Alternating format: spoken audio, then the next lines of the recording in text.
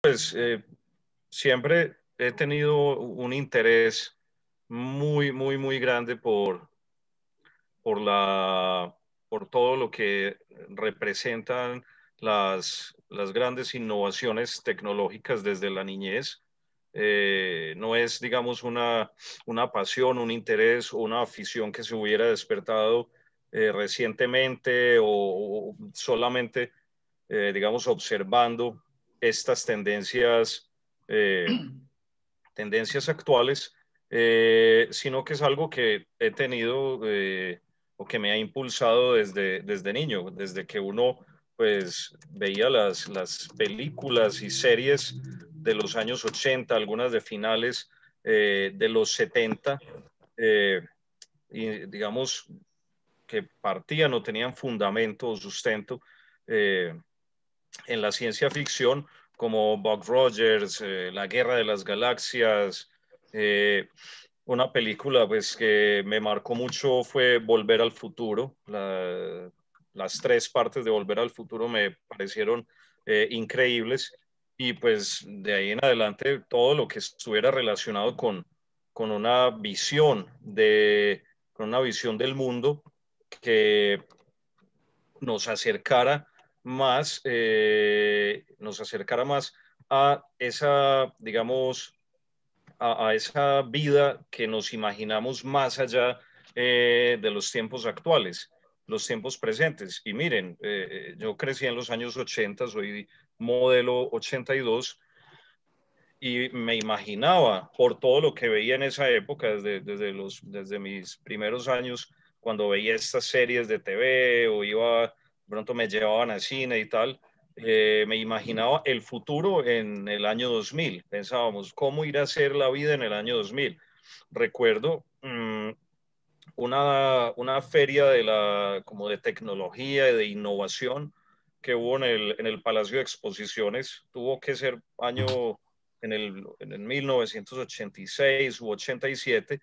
Eh, entonces yo tenía cinco años y eh, pues fui con mis papás, mis hermanas y había una cantidad de cosas apasionantes que son una realidad desde hace tiempo, pero que pues uno eh, siendo un niño se descresta, eh, le parecen increíbles. Eh, había, por ejemplo, una serie de, robots de la época, ¿cierto? La robótica no es, no es algo realmente tan nuevo, es de, de comienzos de los 70, pues ya había una serie de robots con unos brazos que tenían alcances increíbles. ya había, digamos, los primeros pasos en la, en la tecnología móvil o la tecnología, la telefonía celular, perdón. Eh, también autos, eh, no todavía con dispositivos incorporados de conducción autónoma, pero sí eh, que apuntaban a, a, sustituir o reemplazar los combustibles fósiles por, por digamos, simplemente energía eléctrica. Eh, que en todo caso es una fuente, como hemos visto a través de las eh, hidroeléctricas, las termoeléctricas, pues es una fuente de energía eh, renovable, no, no tradicional ni convencional.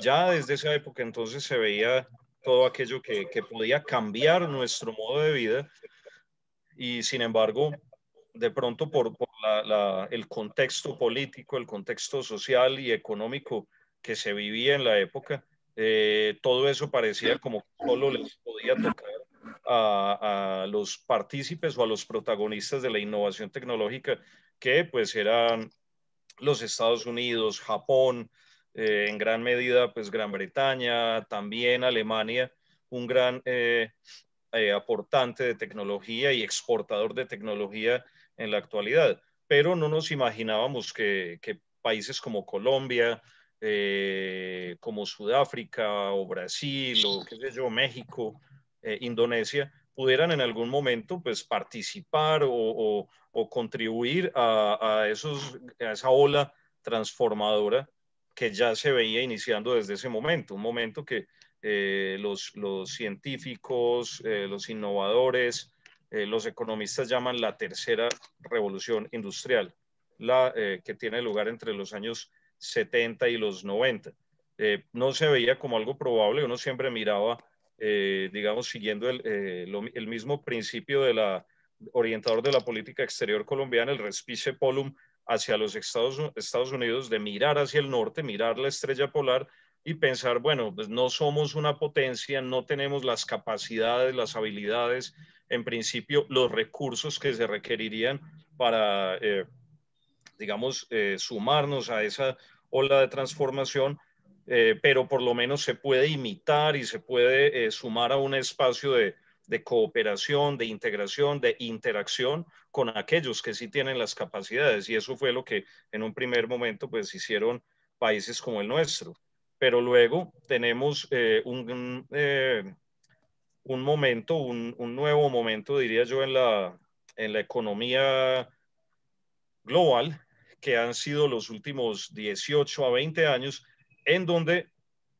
eh, las, los, nuevos motores del crecimiento y del desarrollo económico mmm, no provienen ya únicamente de Occidente, de las tradicionales potencias occidentales del, G6 o del G8 cuando se incluye, por ejemplo, Japón y Rusia, sino que eh, hay una, digamos, multidireccionalidad en, eh, en, esta ola de transformaciones económicas, tecnológicas eh, y políticas que en este momento llamaríamos la cuarta revolución industrial, siguiendo pues, los planteamientos de, de Klaus Schwab, el, el, el director o presidente del foro Económico Mundial, quien además hace ya cuatro años escribió un libro titulado así, La Cuarta Revolución Industrial. ¿Qué está pasando ahora? Un proceso eh, por el cual eh, tenemos, por un lado, eh, las llamadas economías emergentes, algo que ya el, economista Jim O'Neill, que fuera presidente del banco Goldman Sachs e investigador eh, director de investigaciones económicas de Goldman Sachs, eh, digamos que anticipara cuando observaba los cambios que se estaban dando en Occidente respecto a el ascenso o surgimiento de economías como la de China, la de Brasil, la de Rusia y la de la India. Y detrás de ellas, pues, países, digamos, de, de peso o de tamaño mediano en lo económico, lo demográfico y lo geográfico, en el caso de países como Turquía, Sudáfrica, Vietnam, Indonesia, Colombia, eh, Tailandia, Nigeria, Kenia, en fin, todo un eh, proceso que se ha ido dando de manera gradual, no de un día para otro, pero que al mismo tiempo significa una revolución económica. Así como ya desde el fin del Paleolítico se dio la primera gran revolución eh, económica con el surgimiento de las primeras ciudades de Mesopotamia, hemos tenido luego otros momentos de transformación, momentos de cambio eh, sorprendentes y yo diría que eh, lo plantean pues muchos otros expertos y estudiosos, pero este es el momento de mayor eh, ebullición de ideas, de cambio y de salto cualitativo y cuantitativo en la economía, en la tecnología, en el, eh, y todo ello, pues repercutiendo o teniendo eh, impacto y aplicación en nuestras vidas, que es algo que vamos a ver enseguida. Eh, no vamos a hablar únicamente de Elon Musk, aunque sea él el referente, el paradigma de, del cambio y de la innovación en el siglo XXI.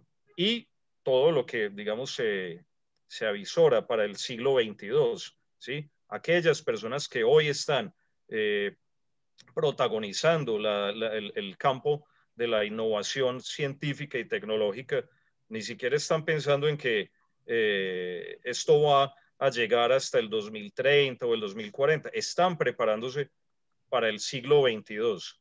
¿sí? Y eh, aunque parezca muy elemental, ¿cierto? que estamos en el siglo 21, eh, y que hay que pensar en el siguiente siglo, que es el 22, realmente mm, es, es, una invitación, un llamado a, todas las personas, tanto quienes no, es, eh, no se encuentran dentro de los dominios de la ciencia y la tecnología y la innovación, eh, a los divulgadores, a los intelectuales, a quienes mm, digamos, son influyentes en el, en el en el entorno académico, en el escenario político, económico, es un llamado a actualizar la visión del mundo.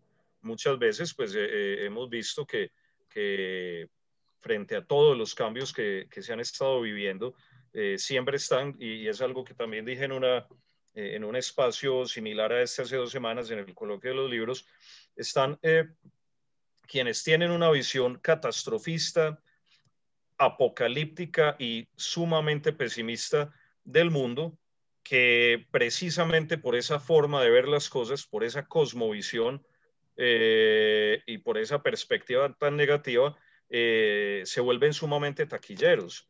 Eh, muchas veces son las personas que llenan auditorios, hoy pues llenan las plataformas, ¿cierto?, de comunicación como Zoom, Teams, Webex, en fin, Google Meet, porque muchas veces parece que, que, quienes eh, traen malas noticias, quienes hablan de un mundo que está destruyéndose, de más desigualdad, de más pobreza, de más guerras, entonces parecen más expertos, se ven más inteligentes, lucen eh, más intelectuales o parece que tuvieran un coeficiente intelectual superior al de quienes de pronto se han enfocado más bien o han optado por enfocarse en aquellas cosas que son positivas y que han estado ocurriendo desde, desde inicios del siglo XX y han transformado radicalmente eh, la vida de, la, de, la, humanidad y han transformado la humanidad en sí misma en solo, en cuestión de solo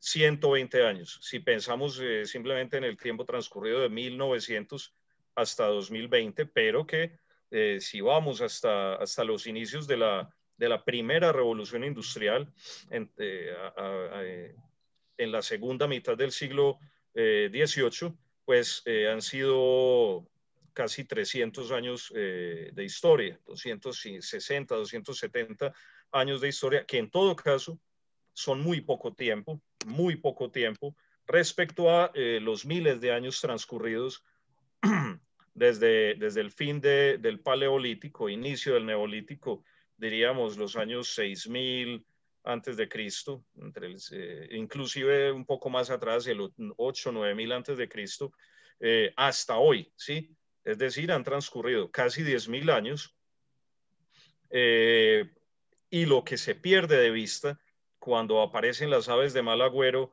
en conferencias de TED.com o en las universidades más importantes del mundo y las de nuestro país, se pierde de vista esto, que la humanidad ha progresado, ha evolucionado y ha logrado pues unos cambios tan importantes eh, solo en, entre 200 y, 200 y 250 años de historia de una forma tan espectacular, eh, tan ostensible, que no se dio durante los precedentes 9.500 años de historia. Pensemos en, claro, cada era, el mundo antiguo, eh, tuvo eh, la formación de grandes imperios, el imperio eh, persa, el imperio ateniense, el imperio espartano, el cartaginés, el romano, en fin.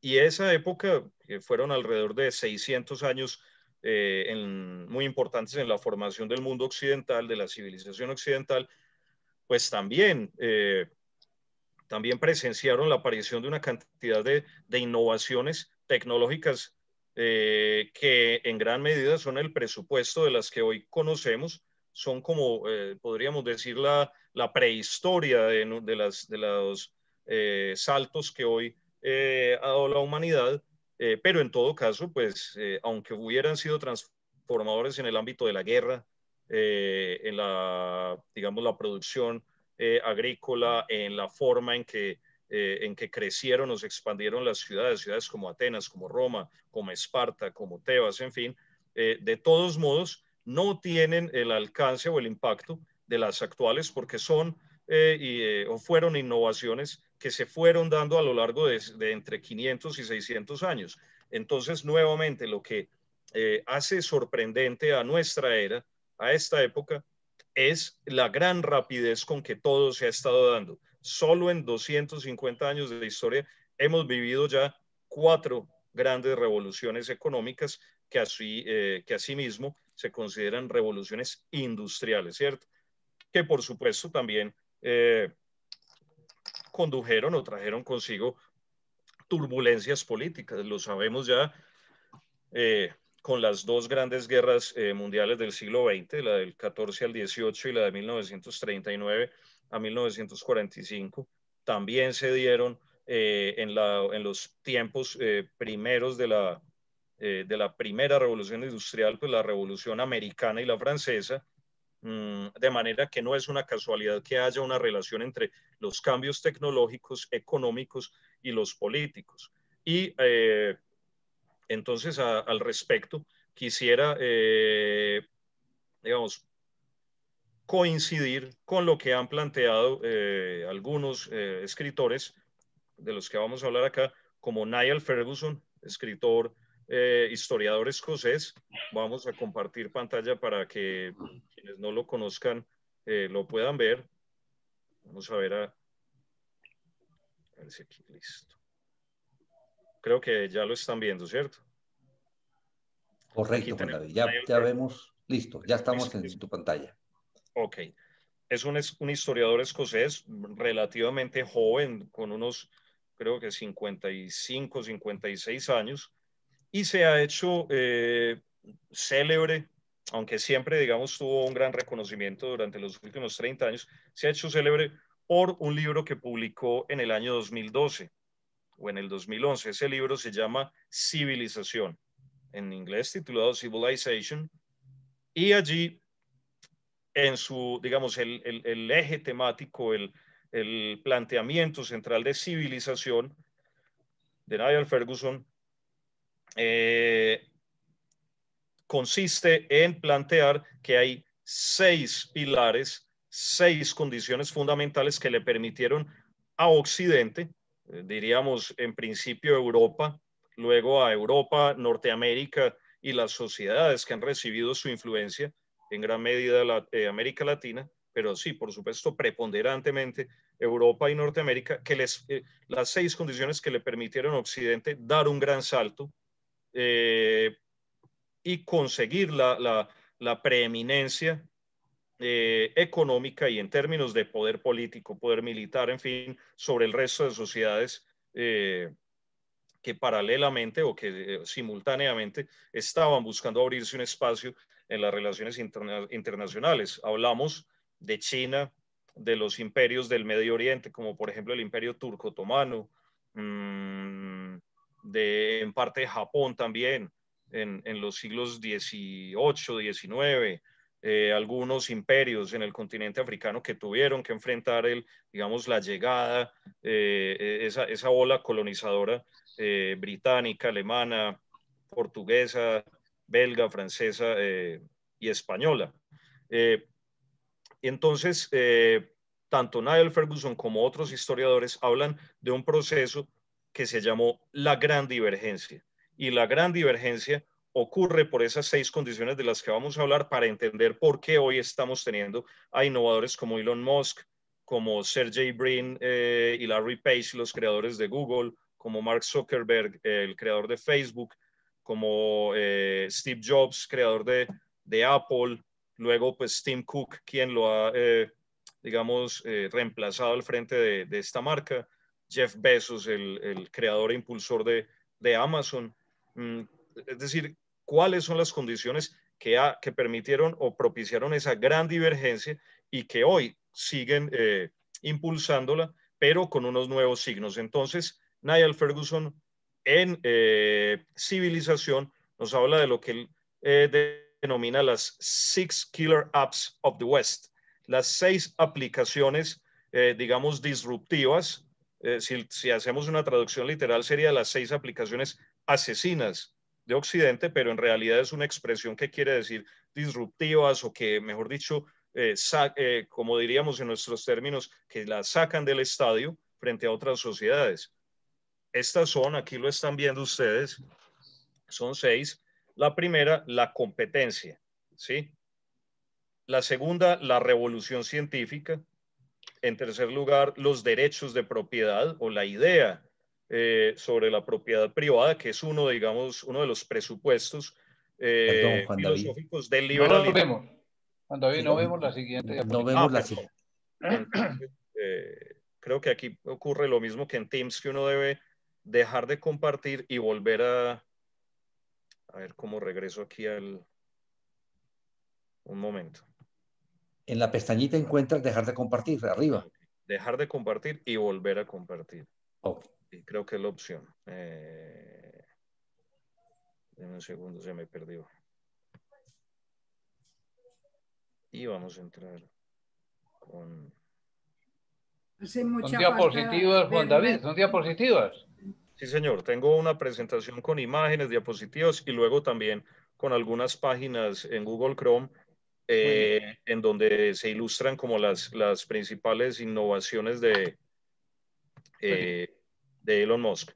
Ahora sí, lo están viendo, es un círculo. Estamos viendo a Elon Musk. Y ahora la otra imagen. Denme un segundo. Ah, ya. Se queda, se queda solamente en la imagen de Musk. Creo que ya, a ver. Ahora sí cambió. Ahora sí, ahora sí. Entonces, como decíamos, plantea eh, Niall Ferguson que hay, eh, que la primera condición es la competencia, segundo, la revolución científica, en tercer lugar, los derechos de propiedad, que son, digamos, uno de los pilares del liberalismo político impulsado o expuesto en sus primeros tiempos por, por John Locke, ¿cierto? Eh, y luego, más adelante, en el siglo XX por pensadores como Robert Nozick, como Murray Rothbard, eh, Amartya Sen, en fin. En cuarto lugar, la medicina moderna. Quinto, la sociedad de consumo. Y en sexto lugar y último, la ética del trabajo. Dice eh, Niall Ferguson que estas seis eh, condiciones, estos seis factores, se dieron eh, en Occidente, se dieron en Europa de una forma que no tuvo lugar en países como Turquía o, en, digamos, el antiguo imperio turco-otomano o en una sociedad milenia, eh, civilización milenaria como China, que también ya había tenido su, primera o su propia modernidad dos mil años atrás, y que estas condiciones se dan eh, en Occidente, se dan en Europa, debido a que hay una gran confianza en los individuos, ¿sí? Y que el proceso, por ejemplo, de construcción del Estado-Nación eh, se dio teniendo eh, o partiendo del hecho de que las personas ocupaban un lugar central, ¿cierto?, en la sociedad, de manera que eh, no es una casualidad que, por ejemplo, eh, hubiera un ambiente propicio, un ambiente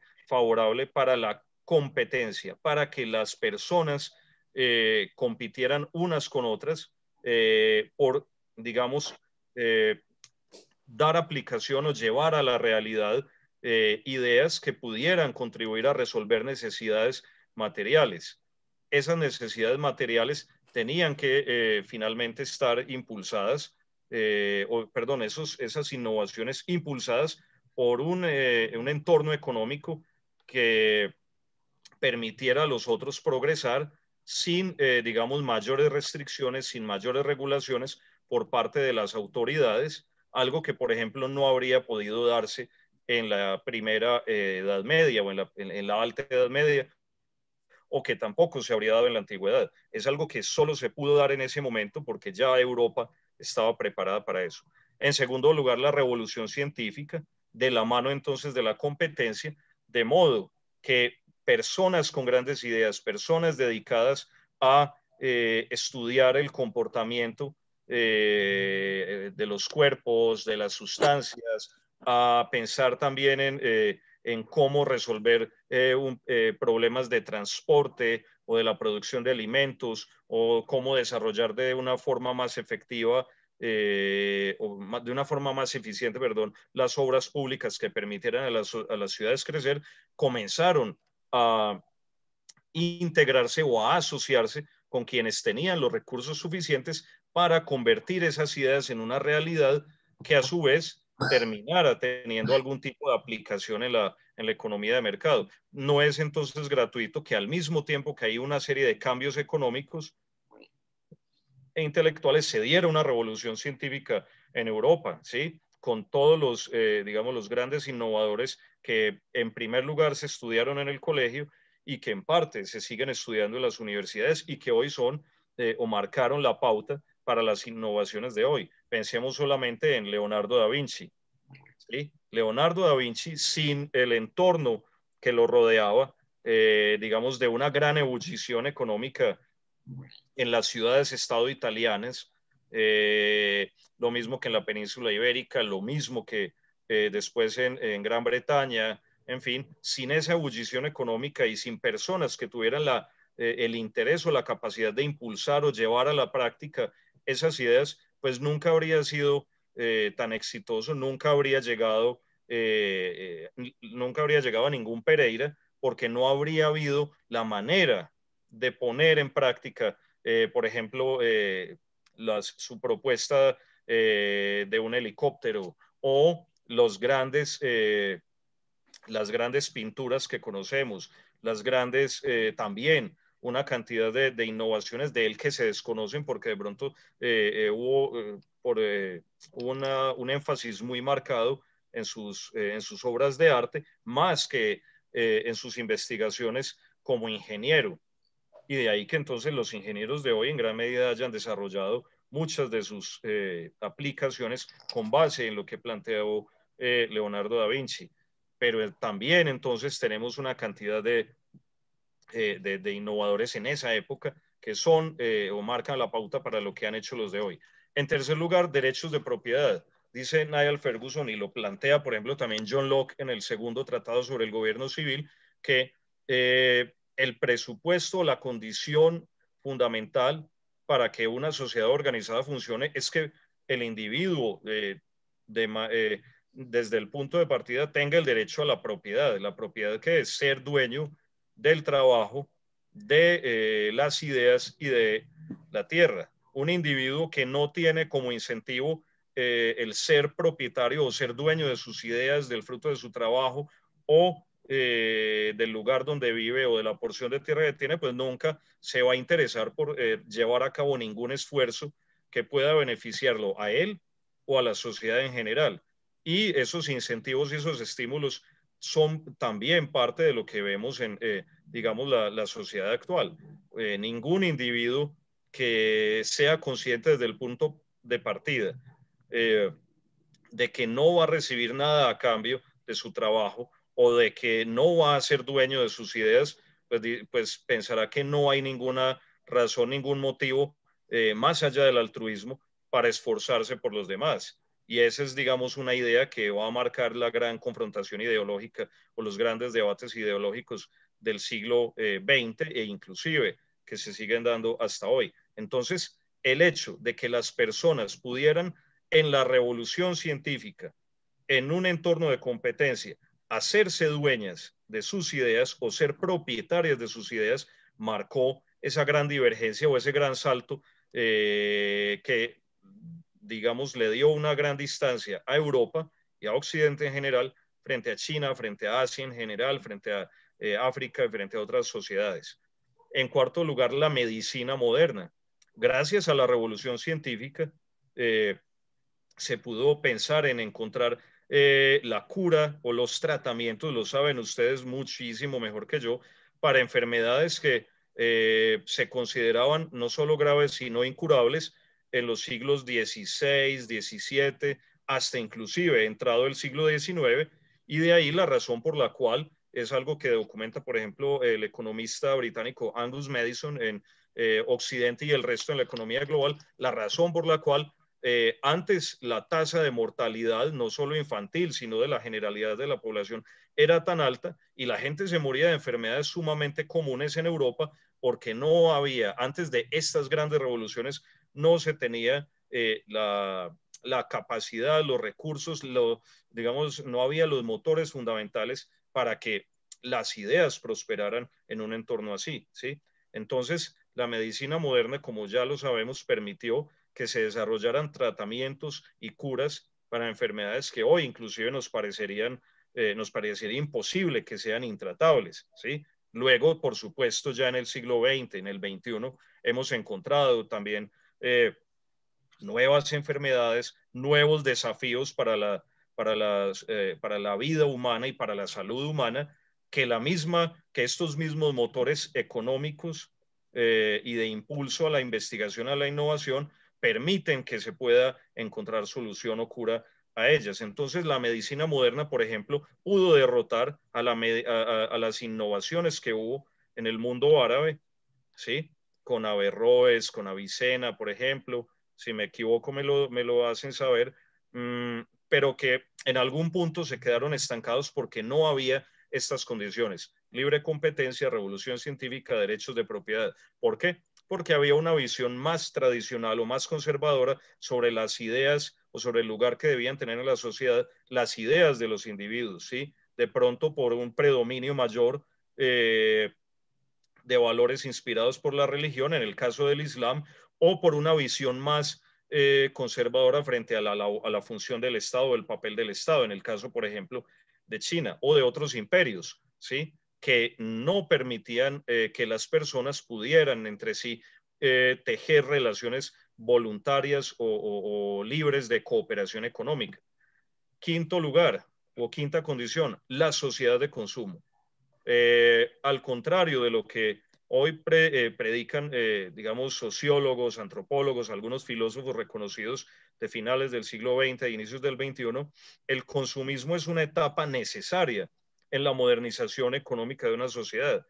Puede que en el momento en que una sociedad alcanza, digamos, su culmen o su punto de mayor madurez, el consumismo se reduce, pero la ebullición económica necesariamente conduce a que las personas, a que el consumidor, el profesional, el trabajador, pues adquiera toda clase de bienes, productos y servicios que le van a facilitar su vida, inclusive muchas cosas que no necesita, como lo vivimos hoy en día, pero en algún momento la sociedad entra a un punto de mayor madurez y va y pasa o supera el consumismo. Y en sexto lugar, la ética del trabajo. Dice Niall Ferguson, la ética del trabajo, eh, sobre todo en la sociedad occidental, eh, marcó la gran distancia o esa gran divergencia de Occidente frente al resto por el hecho de que se considera que el individuo en condiciones de libertad y ante esos eh, cinco primeros factores pues entonces se esfuerza por, eh, digamos, progresar económicamente, se esfuerza por sacar adelante su familia o se esfuerza por lograr sus objetivos personales, sus objetivos materiales, de una forma que otra, en otras sociedades en las que no se, eh, se estimula o no se impulsa a las personas a ser dueñas de sus ideas o dueñas de su trabajo, eso no ocurre, ¿sí? Entonces, en Occidente fue fundamental la ética del trabajo, fundamentalmente eh, en, Gran Bretaña, luego en los Estados Unidos a lo largo de la, de la, segunda mitad del siglo XIX hasta los años 50 y 60, con la extensión de la sociedad de propietarios y un gran boom económico al final de la Segunda Guerra Mundial, eh, esa ética del trabajo ha sido eh, un impulso eh, un disparador increíble del progreso económico en las sociedades, en la sociedad occidental. Luego, entonces, tenemos un proceso que se conoce como la gran, la gran reconvergencia. Y en la gran reconvergencia tenemos a sociedades que, que, durante los últimos, se podría decir, 1500 años de historia, pero más importante, durante los últimos 250 años no tuvieron eh, ni la figuración, ni la capacidad de ejercer el liderazgo, ni eh, la posibilidad de, digamos, hacerse escuchar o hacerse sentir. Y estamos hablando eh, principalmente de China, de India, de Japón un poco hacia atrás, del sudeste asiático y hoy un poco hablando de los últimos 15 años, de algunas economías emergentes del continente africano y de países de América Latina. La gran reconvergencia consiste en, o es un proceso por el que esas sociedades, eh, a un ritmo vertiginoso, a una velocidad vertiginosa, se han comenzado a nivelar y han empezado a abandonar, eh, por supuesto, de manera gradual y en medio de muchas turbulencias, la senda del atraso económico, del atraso tecnológico y lo más importante, de la pobreza extrema. de acuerdo con, por ejemplo, los no solo estudios del Banco Mundial o del el Foro Económico Mundial o del eh, Fondo Monetario Internacional, eh, sino, por ejemplo, de lo que planteaba el científico sueco Hans Rosling, el mundo de hoy, un mundo de casi 8 mil millones de habitantes, eh, es espectacularmente menos pobre de lo que era al inicio del siglo XX. Al inicio del siglo XX, también eso lo documenta el economista Angus Madison, de quien hablamos hace un instante, teníamos, éramos 100, eh, la, la, población mundial ascendía a poco más de 2 mil millones de habitantes y el 90% vivía en la pobreza y hoy de 8 mil millones de personas que pueblan, eh, que habitan el planeta, eh, viven en la pobreza alrededor de 1.700 a 2 mil millones. Claro, ¿qué dirían, como lo mencioné ahora, pues quienes tienen una visión pesimista del mundo?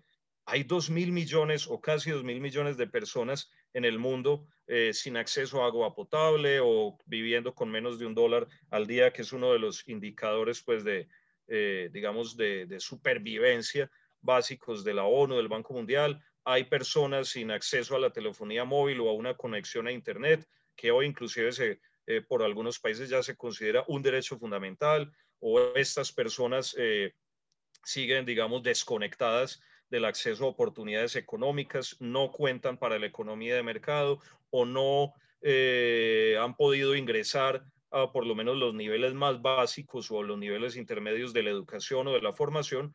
Y eso, pues, por supuesto, es una realidad, pero la gran noticia es que ya los otros 6 mil millones han abandonado eh, ese escenario. Lo que nos haría pensar que es una verdad absoluta es que durante 120 años la humanidad no hubiera progresado nada y que los 8 mil millones o 7 mil millones de habitantes del planeta siguieran en la misma pobreza eh, y en el mismo atraso eh, que vivían los 2 mil millones de hace 120 eh, años. Entonces, no solo ha habido una expansión demográfica tremenda, sí, la población mundial se cuadruplicó en, en poco más de un siglo, sino que también las oportunidades económicas propiciadas también por una, por estas, por tres revoluciones industriales durante 120 años, sin contar la primera, permitieron. Porque cuando me preguntan cuál es la relación entre eh, las innovaciones de Elon Musk y eh, el progreso general de la humanidad, esta es la explicación, ¿sí? Que todas esas innovaciones durante 250 años de historia han tenido una gran repercusión sobre la vida de las personas, ¿sí?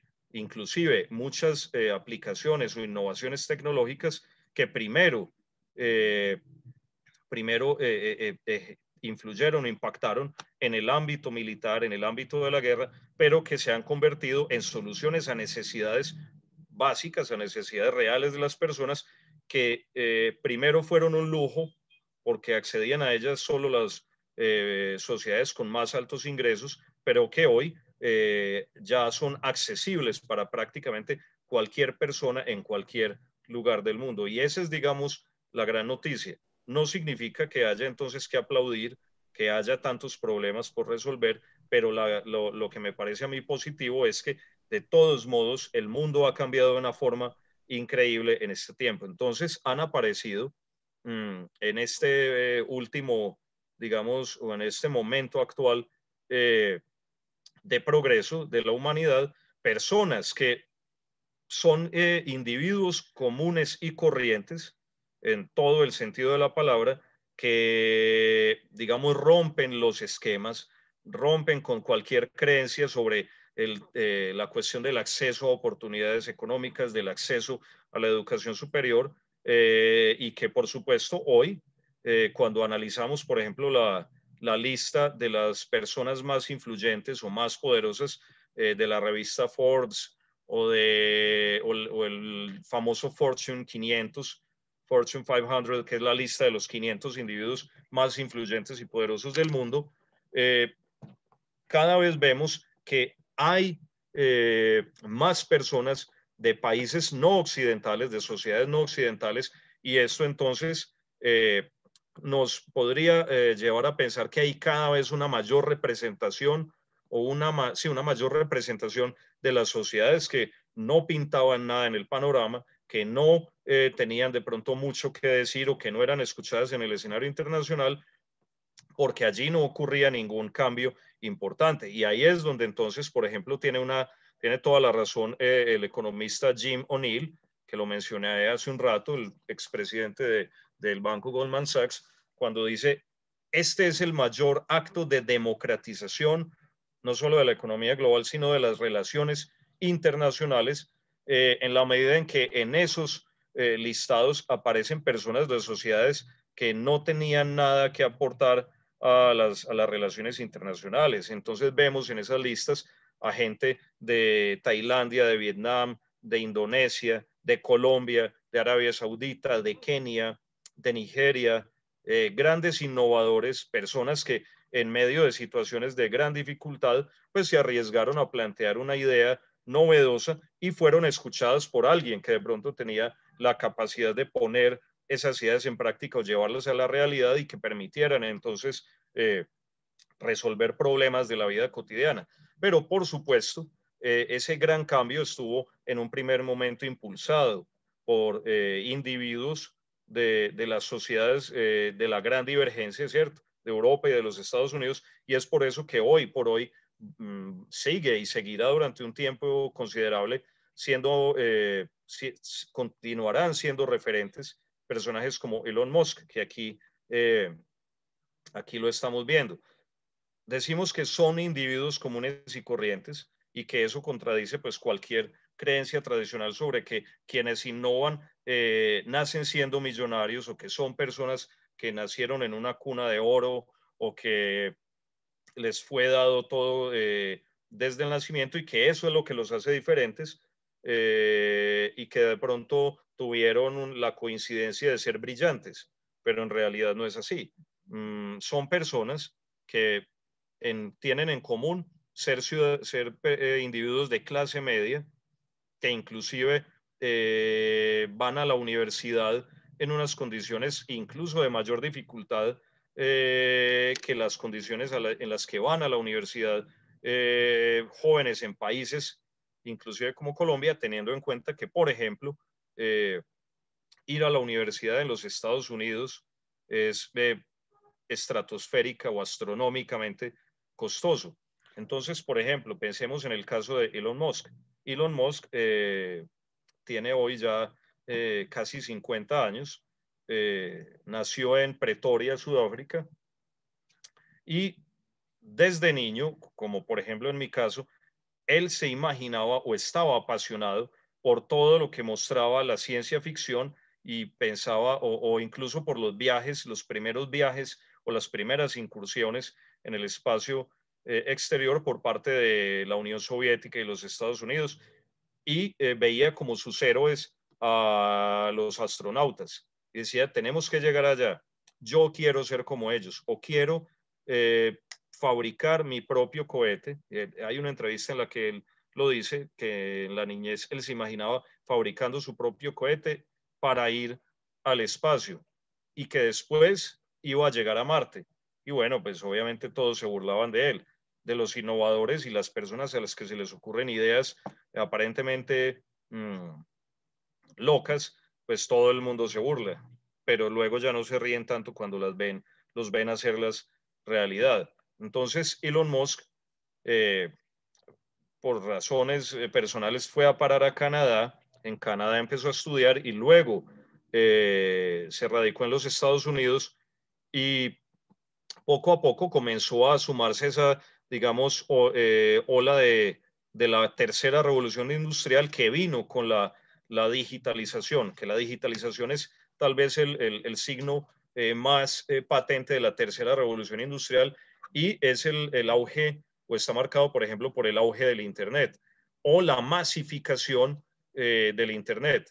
Elon Musk es uno de los eh, personajes más, más representativos del, de la evolución de las, de las .com, de las páginas web a finales de los 90, eh, cuando crea PayPal, también creó pues otras, tuvo otras innovaciones que de pronto no, impactaron tanto, pero PayPal fue la más importante de ellas a finales de los 90 por los mismos eh, o por el mismo tiempo, año 99-2000, que Larry Page y Sergey Brin crearon Google. Solo han pasado 20 años desde esto y 20 años en los que hemos visto cómo nuestra vida ha cambiado de una forma radical, se ha trasladado eh, al espacio, digamos, muchos lo llaman virtual, en realidad no es virtual, sino que es nuestra nueva realidad, al espacio online o a la red.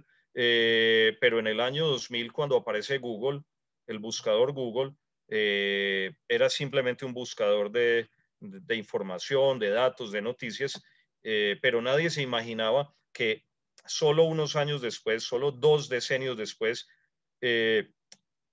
la información, y el conocimiento iban a revolucionar tanto eh, nuestras sociedades que se convirtieran en el input más importante de la economía en cualquier sociedad. Cualquier sociedad, inclusive si se trata de las más avanzadas o de las nuestras que están, digamos, en, en una modernización constante, pero con dificultades mayores para consolidarse.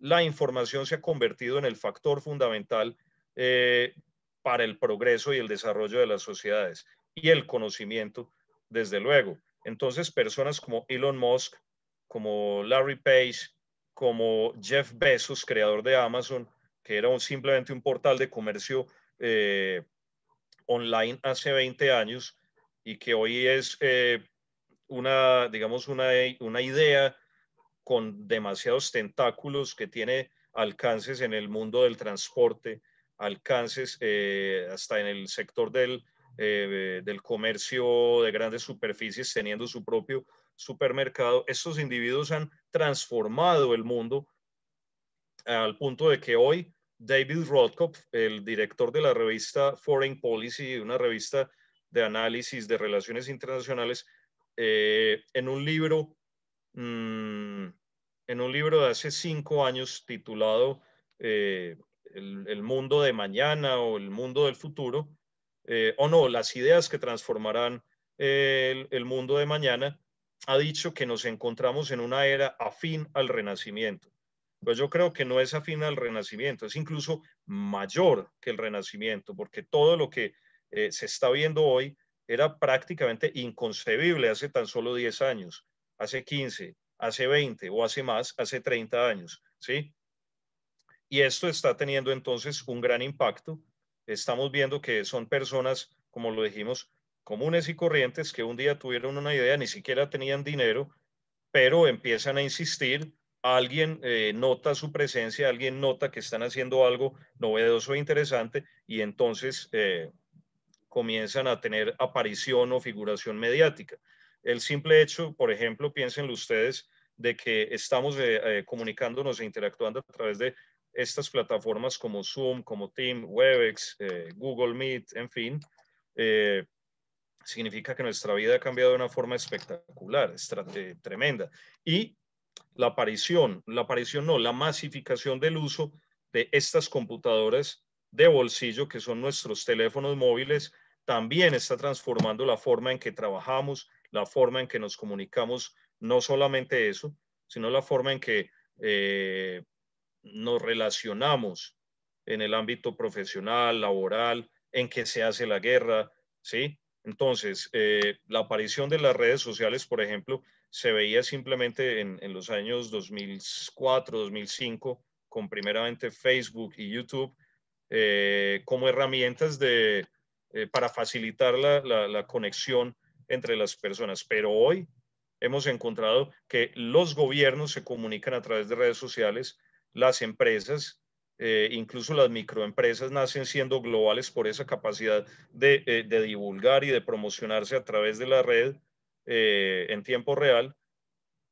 Y nosotros mismos nos hemos convertido en individuos, si bien con unas raíces, en individuos globales que trascendemos fronteras todo el tiempo. Nuestras interacciones son interacciones globales cada segundo de nuestras vidas por el tipo de, de contenidos y de información y de conocimiento al que accedemos a través de, de Google o de Yahoo o de, de, las redes sociales. Ya prácticamente estamos usando menos las páginas web y más las redes sociales, ¿cierto? Instagram, Snapchat, Facebook, Twitter, mm, TikTok, la aplicación famosa que utilizan los, los muchachos, pues, los, sobre todo los adolescentes o los llamados centennials. Entonces, ese es el entorno en que están teniendo lugar eh, las innovaciones de Elon Musk. Vamos a ver, por ejemplo, aquí eh, alguna de ellas. Un momento. Como por ejemplo, y eso es lo que yo diría marca eh, la distancia con cualquier era de la historia que se haya vivido. ¿sí?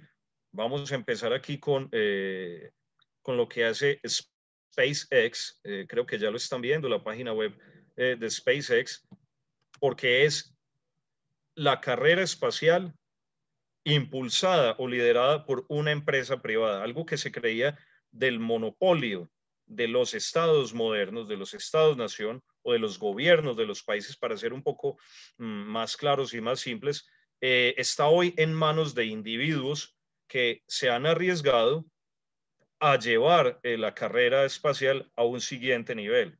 Incluso, por ejemplo, hoy se habla de la, de, y, se habla en los documentos estratégicos de secretarías o de departamentos, perdón, y ministerios de defensa de las grandes potencias, se habla de, la, de, de crear fuerzas de defensa espaciales, porque la competencia estratégica entre las grandes potencias ya se va a dar, va a comenzar a darse en el espacio, ¿sí? Ya se conquistó el planeta y se seguirá seguro luchando por la supremacía o la hegemonía dentro de él, pero el siguiente nivel es la competencia en el espacio. Así que la guerra de las galaxias, eh, que parecía una cosa simplemente eh, de la fantasía mm, está convirtiéndose en una realidad. Aquí estamos viendo eh, Elon Musk desde más o menos 2006 y 2007 empezó a, incursionar en el tema de, de, la carrera espacial creando esta empresa, SpaceX. La X es, eh, hace alusión a exploration o exploración, ¿cierto? Exploración espacial. Y en los últimos años ha lanzado pues una serie de, vehículos, como por ejemplo, aquí lo, vamos a ver, el Falcon 9, eh, un, eh, un, cohete eh, reutilizable, capaz de volver, a, la, de volver a, la, a la superficie terrestre y de simplemente recargarse, repotenciarse y volver a salir del planeta. Algo que ni la NASA, ni la Agencia Espacial Europea o la Agencia Espacial Japonesa, por ejemplo, eh, habían logrado durante muchos años, desde que inició la carrera espacial eh, eh, a finales de los años 50 y comienzos de los años 60. Esto lo está logrando Elon Musk después de, por supuesto, haber fallado muchísimas veces en sus experimentos y se propuso fabricar un, una serie de cohetes que pudieran ser lanzados varias veces, que tuvieran la característica principal de ser reutilizables. ¿Por qué? Porque si el objetivo de la carrera espacial es que los, los seres humanos viajemos efectivamente al espacio más allá de experimentos eh, astronómicos o astrofísicos y podamos efectivamente llegar a otros planetas, hay que hacer que, este trans, que el transporte espacial sea eh, útil, funcional y entonces fundamentalmente eh, reutilizable. En este caso, Falcon 9 o el Falcon 9 de Elon Musk, me dicen si sí lo están viendo, ¿sí? Sí, perfectamente. Ok. Ha logrado 100 lanzamientos, 61 eh, aterrizajes y ha logrado, digamos, que 43 eh, de sus cohetes hayan podido eh, volver a volar, por lo menos una vez, porque algunos de los experimentos con, con el Falcon 9 eh, fallaron en 2010, en 2011, en 2012. Elon Musk pasó alrededor de seis años perfeccionando sus, esta innovación hasta que lo logró hace alrededor de, dos años o tres con el lanzamiento del llamado Falcon, eh, Falcon Heavy, que es el que vamos a ver aquí. El Falcon Heavy es, eh, como dice aquí, el, el, el, cohete más poderoso del mundo. Un cohete creado, diseñado, ideado por una empresa privada. Entonces, ¿qué están haciendo hoy eh, los gobiernos? Antes, eh, las agencias espaciales en las que Elon Musk tocaba la puerta diciendo, tengo esta idea, ¿sí? Creo que ustedes me pueden apoyar, yo tengo la idea de que podemos reutilizar los cohetes, que podemos incluso no solo lanzar una misión tripulada a Marte, sino colonizar Marte, colonizar Marte. Antes eh, le, cerraban la puerta y le decían, eso es imposible, no tenemos dinero para eso.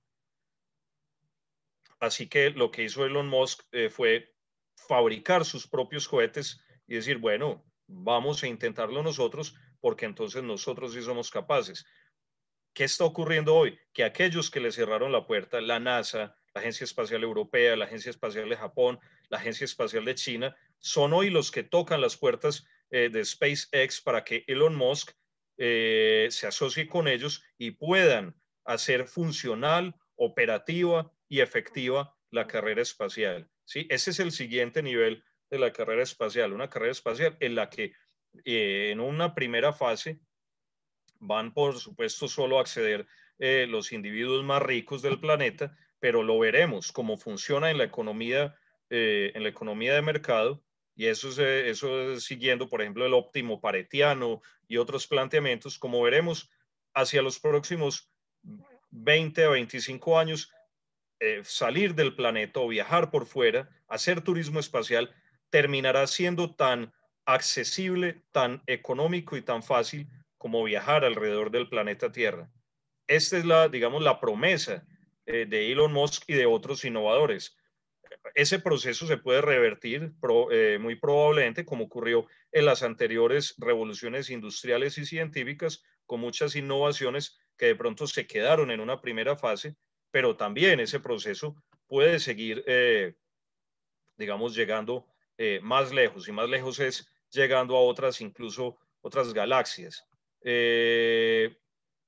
imagínense entonces este, este escenario Starship. Starship es, eh, digamos, la, la, nave que representa, eh, digamos, es el, el, el, vehículo más, el, primer vehículo completamente reutilizable, se podría decir, eh, reciclable, ideado por SpaceX con un objetivo específico. ¿Cuál es ese objetivo? llevar carga, transportar carga y tripulación eh, a la Luna, a Marte y como dice aquí, más allá. Eh, to Earth orbit, the Moon, Mars and beyond, ¿sí? Más allá. Es decir, eh, y para eso se han requerido, de acuerdo con lo que vimos, por eso importó tanto hablar de Niall Ferguson primero, se han requerido esas six killer apps de Occidente. Se ha requerido una revolución científica, se ha requerido que hubiera libre competencia, que hubiera derechos de propiedad, porque así cualquiera, sin derechos de propiedad cualquiera, podría haberle robado a Elon Musk su idea, ¿sí? Y recursos, ¿sí? Un entorno de economía de mercado en donde alguien con una idea la puede convertir en un producto. Eso para los más fundamentalistas pues suena como, uy, estamos mercantilizando el conocimiento. Y sí, así es. O sea, pero sin esa eh, sin ese entorno esto jamás habría ocurrido. Pero entonces estamos hablando de pronto de algo que suena muy al espacio, que todavía está muy lejos de nuestro alcance y vamos, por ejemplo, a lo que hace eh, una de sus empresas estrella, que es Tesla Motors. Tesla Motors.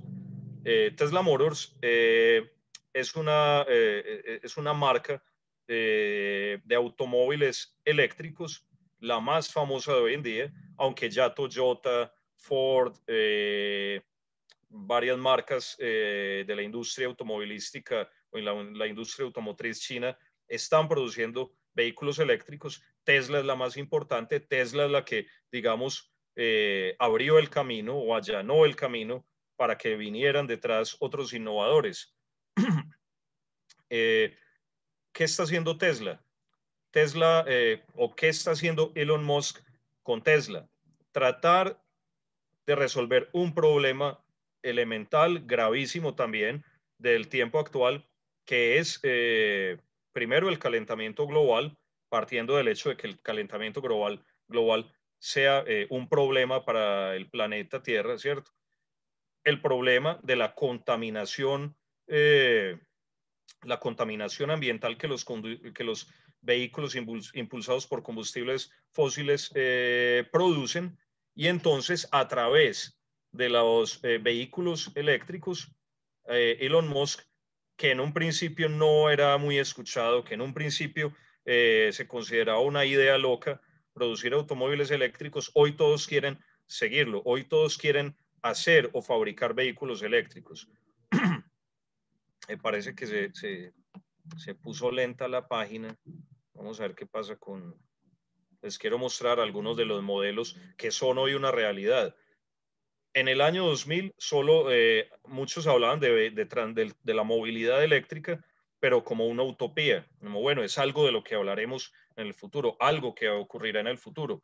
Hoy ya no es el futuro, hoy es el presente y eh, al punto de que incluso nuestras ciudades, producto de ese o como resultado de ese proceso de gran reconvergencia en la economía, nuestras ciudades, las ciudades como Medellín, ciudades como Sao Paulo, como Ciudad del Cabo, Johannesburgo o Mumbai en la India, eh, han asumido que el impulso a la movilidad eléctrica es uno de los factores clave para el desarrollo de nuestras ciudades y para mejorar no solo eh, o, resolver los problemas de movilidad, mejor dicho, de inmovilidad que tenemos hoy en ciudades intermedias, ciudades principales de América Latina y en general del mundo emergente, eh, que en un principio o en, el, eh, que en otros momentos estas innovaciones habrían sido privativas de Occidente o habrían sido consideradas un lujo, un privilegio solo de las sociedades más avanzadas, de las sociedades más ricas.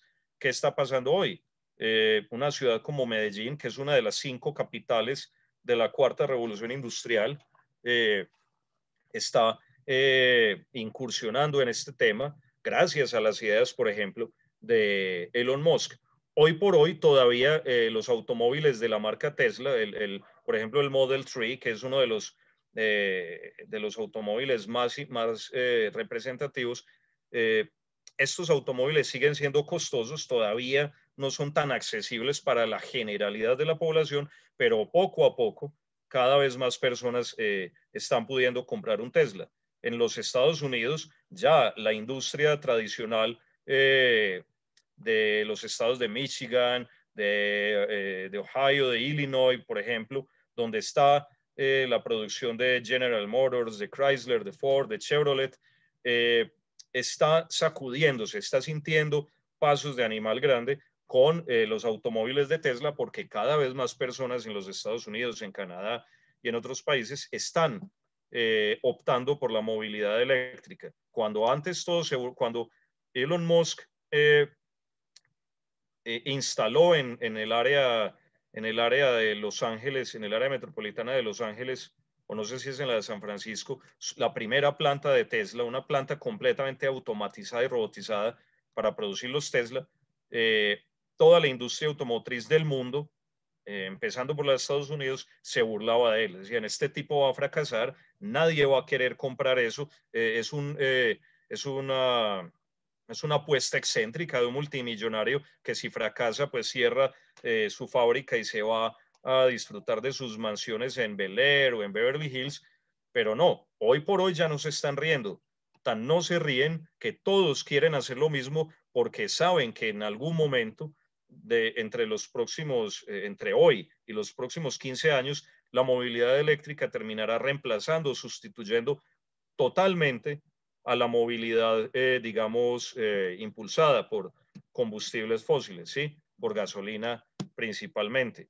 Hay, por ejemplo, un, documental en, en, la, en, en, la, televisión alemana, en DW, en Deutsche Welle, que muestra cómo hoy las marcas principales de la, de, auto, de la industria automotriz alemana eh, están eh, en, en, una crisis tremenda y se han demorado mucho para dar el salto tecnológico y empezar a incursionar más rápido en la movilidad eléctrica. Pero la movilidad eléctrica no solo se ve allá, la estamos viendo nosotros. Al principio era un lujo o una excentricidad que alguien tuviera una eh, patineta eléctrica, pero miren cómo rápidamente entre 2018 y comienzos del 2020 vimos que en nuestras ciudades aparecieron las aplicaciones como Green, eh, o Grind, por ejemplo, que eh, ponen, eh, ubican en cualquier punto de la ciudad patinetas eléctricas para que lleguemos rápido a cualquier parte y no tengamos que montarnos en un bus que contamina, en estos Santra o Circular Tour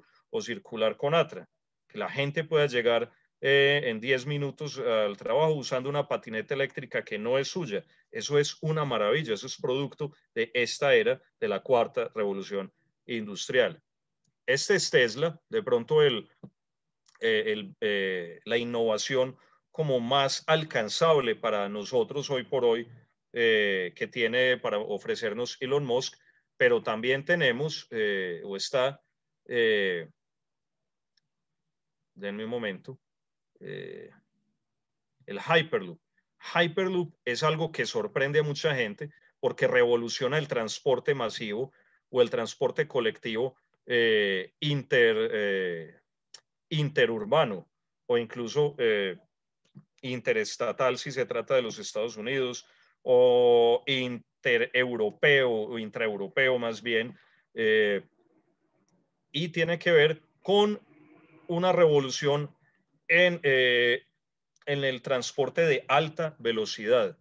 El transporte de alta velocidad, como lo sabemos, en un primer momento eh, fue desarrollado por un país como Japón a través de la, aparición del tren bala, del Shinkansen en los años 70, a finales de los años 70, eh, vehículos eh, con una capacidad de, de, de, transportarse a más de 300 kilómetros por hora y con base en los principios o en, los modelos del Shinkansen se desarrollaron los trenes de alta velocidad europeos como el, el AVE española en 1996, el primer AVE Madrid-Sevilla, después eh, Madrid-Zaragoza, en fin, luego el, el Eurostar, eh, bueno, todos estos trenes considerados de alta velocidad, ¿sí?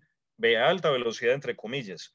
Luego vino, en, eh, digamos, la segunda fase a partir del año, del año 2009 hasta ahora, finales de 2018, inicios de 2019, el maglev o el tren de levitación magnética eh, de China, eh, que fue eh, desarrollado para comunicar las principales áreas metropolitanas o urbanas de la costa de China, de, por supuesto, la costa este, porque no hay otras costas en China, la costa, comunicar ciudades como Beijing, Shanghái, Guangzhou, hasta Chongqing, que es la ciudad más grande del interior de China. Eh, un vehículo que se desplaza a una velocidad máxima de 630 kilómetros por hora y que incluso ha podido desarrollar esa velocidad dentro del área metropolitana de Shanghái, una ciudad de 33, 34 millones de habitantes. ¿sí? Una, se podría decir, una nueva ciudad-estado global. Pero hoy tenemos con Hyperloop, eh, con Hyperloop la auténtica revolución, que por supuesto sigue eh, eh, en fase de experimentación, pero que va a, volver en, unos 10 o 15 años, va a volver obsoletos estos trenes. Esta es la nueva generación. El Hyperloop, como nos lo dice esta noticia de Caribbean News Digital, el Hyperloop, Elon Musk ha propuesto a gobiernos y empresas en Europa eh, extender una red de una red de Hyperloop por distintos países, empezando por Holanda o Países Bajos, por Alemania, en fin, porque ya se han hecho experimentos en el desierto de Nevada, en California, en Texas, en el corredor del sol de Arizona, en fin, experimentos exitosos que han hecho que el Hyperloop efectivamente eh, funcione. Según nos dice esta noticia, no sé por qué esto no está eh, aquí ya. Dice, las propuestas para crear una red de Hyperloop que transportaría a los pasajeros de Ámsterdam a París en menos de 90 minutos están en discusión en los Países Bajos después de que un estudio que dice que el enlace de alta tecnología podría ser económicamente viable. Ya se está hablando entonces de viabilidad económica. Al principio muchos decían eso es tecnológicamente inviable. Si se pasó de la viabilidad tecnológica a la viabilidad económica, es que ya es una realidad. El Hyperloop es una propuesta de transporte que implica viajar en una elegante cápsula tipo vaina que es impulsada a través de un tubo de acero de baja presión a velocidades de más de 600 millas por hora. Eso es alrededor de, más de mil kilómetros por hora. ¿sí? Supuestamente más sostenible que la aviación y más rápido que los trenes de alta velocidad de hoy en día, los defensores de Hyperloop dicen que es el futuro de los viajes a través del país e incluso a través del continente europeo. Miren, estos son, digamos, este es un modelo eh, de los viaductos de Hyperloop, tubos de baja presión y en el interior, por supuesto, van las, las cápsulas, como describen ahí, tipo vaina, que llevan pues un número determinado de pasajeros. Aquí nos dice, el informe dice que Hyperloop podría transportar 200 mil pasajeros por hora en cada dirección. Los viajeros podrían llegar a París en 90 minutos menos de la mitad del tiempo que toma actualmente el tren y aproximadamente el mismo tiempo que un vuelo directo, sin necesidad de conexiones con el aeropuerto. Eh, y bueno, es lo que enseguida vamos a ver. Vamos a ver un, video de dos horas, no mentiras, es un video corto de, de siete, ocho minutos como para, para ver en qué, en qué va realmente Hyperloop.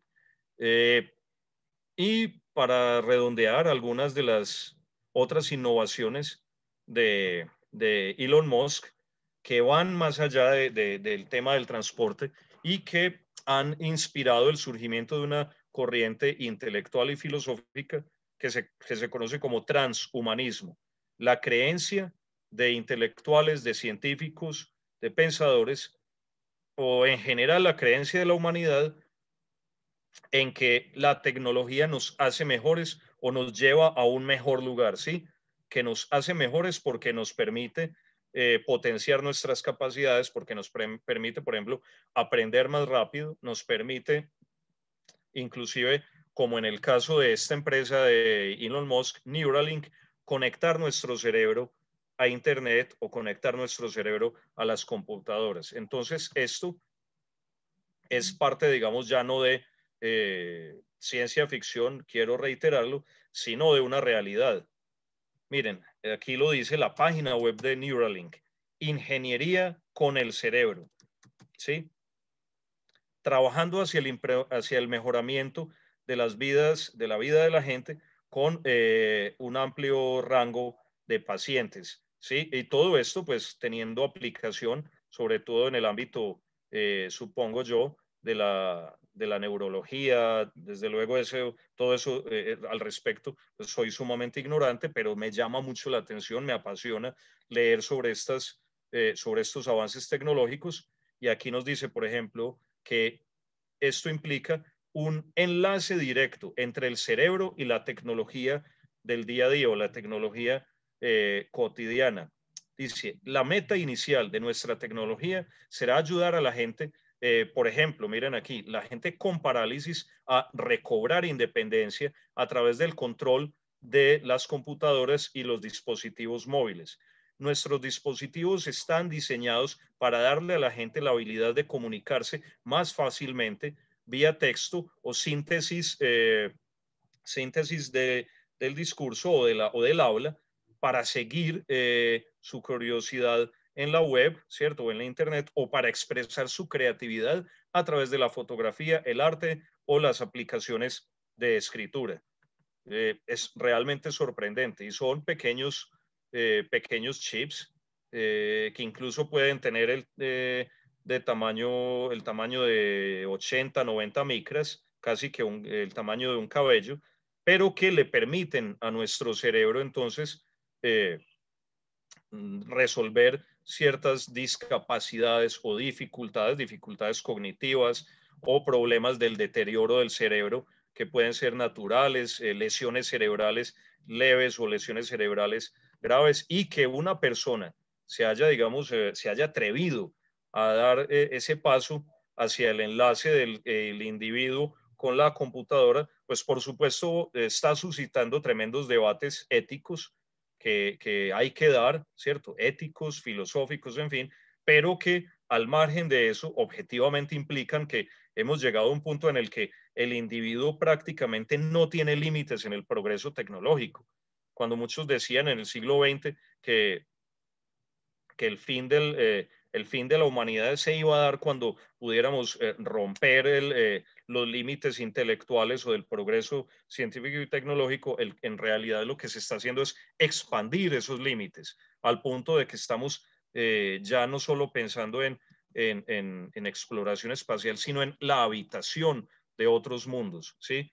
Y eso me parece a mí, no solo con, digamos, el, el debido, eh, los, los, debidos límites y también futuras regulaciones, tiene que ser bienvenido, ¿sí? No se puede cerrar la puerta a estos progresos de plano eh, solo por considerar que de pronto pueden llevarnos a algo peor. Creo que el debate tiene que ser más, eh, más profundo. Entonces, miren cómo son innovaciones eh, con aplicación en nuestras vidas cotidianas que ya incluso se están llevando a cabo en distintos centros de investigación, se llevan a cabo en clínicas y hospitales, pero también en el ámbito, como vimos ya, del transporte, pues son eh, eh, desarrollos, eh, desarrollos, por decir lo poco, lo menos, increíbles. si desean, vamos entonces a, a ver el video, que es un video que nos permite pues como cerrar y si me autoriza, por supuesto, Mario. Listo. Adelante, Juan David. Yo creo que todos quieren ver el video. Claro, adelante. Aquí lo claro. Mm. Eh, Juan David, ¿tiene sonido? Eh, sí, señor. ¿Cómo es el, eh, cómo se incorpora sonido en para? En la parte, en la parte de abajo hay dos pequeños cuadritos. Debes poner un clic en cada uno de ellos al momento de compartir pantalla.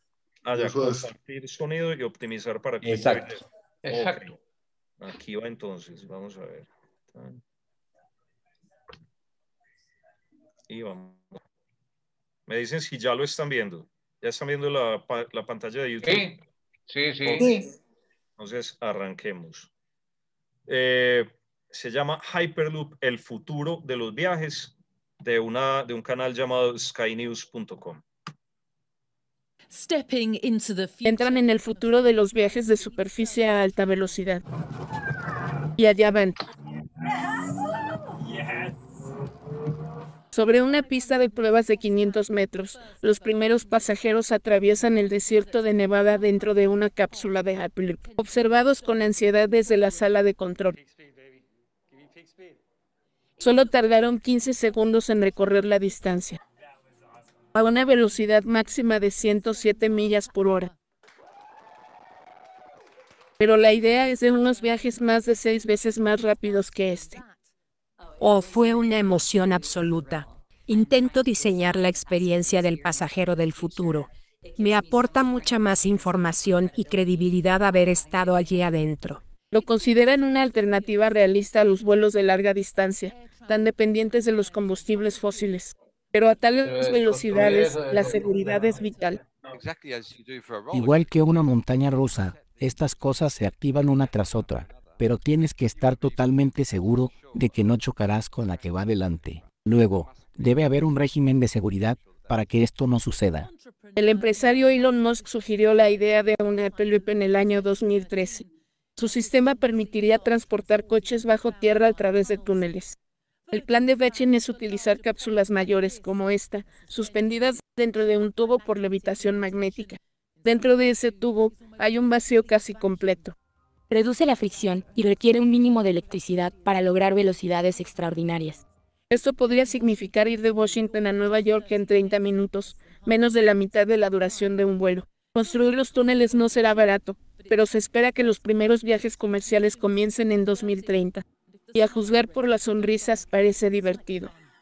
M. Buckley, Sky News.